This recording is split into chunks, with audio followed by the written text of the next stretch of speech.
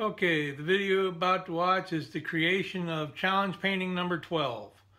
This one is for a path along a river or a stream. So I have created footbridge number 5. This is 16 by 20 and got a waterfall. So I hope you enjoy the video.